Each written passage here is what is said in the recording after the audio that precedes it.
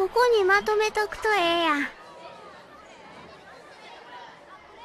でもやっぱすぐ使うかもしれんから、こっちに置いといた方が。でも一個だけ別のとこにあったら忘れられてしまうかもしれへん。あ、でも意外とここにある便利さの方が勝ってるということもあるんやないか。さっきから何を無駄な動きをしている？あ